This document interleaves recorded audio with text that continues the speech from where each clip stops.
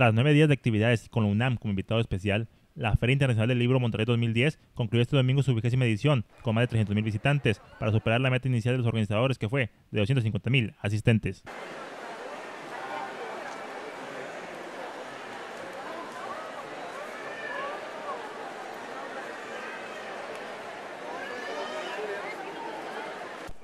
Nacional Autónoma de México, a David Turner, director de Publicaciones y Fomento Editorial, a Imelda Martorell, coordinadora eh, eh, de evento por parte de Difusión Cultural,